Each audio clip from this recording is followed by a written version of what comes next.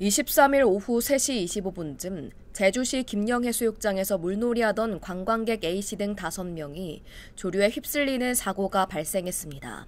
A씨는 일행 1명과 함께 떠내려가던 중 갯바위에 연결돼 있던 부표를 잡고 구조 요청을 한 것으로 파악됐습니다.